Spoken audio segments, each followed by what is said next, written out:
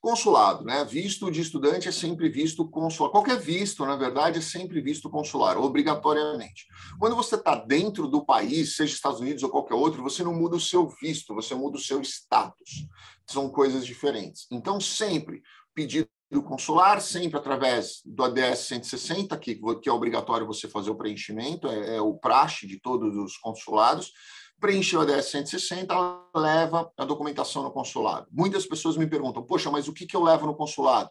Tudo, tudo que você é, conseguir levar para comprovar. Primeiro, capacidade financeira. Segundo, vínculos com o seu país. Terceiro, necessidade real de você estudar inglês vai melhorar a sua promoção no trabalho, vai melhorar a sua vida profissional, vai melhorar a sua carreira. De repente, você quer fazer um, um mestrado e a universidade que você quer fazer o mestrado ela exige duas línguas, né? Isso tem sido sim um, um ponto extremamente importante.